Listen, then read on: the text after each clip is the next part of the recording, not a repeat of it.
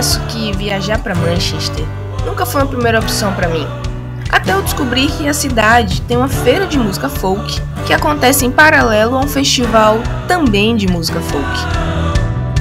Viajei algumas horas de Portugal para Inglaterra e vou contar para vocês, em uma microsérie de três vídeos, um pouco de tudo o que eu vi pela cidade. Vem comigo?